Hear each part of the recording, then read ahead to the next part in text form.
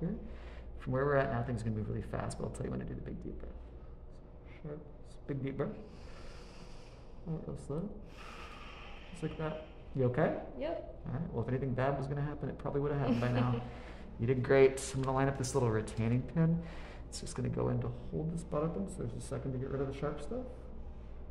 Tightness feeling here, but no pain. And I'm gonna walk like two steps away to get rid of the sharp stuff. Sounds good. The post component of the jewelry We'll link on the back of our little retaining pin and more of that tight feeling when this goes in. And then we're just gonna put the top onto the post. This is gonna make a scrape sound, but it's gonna feel like nothing, okay?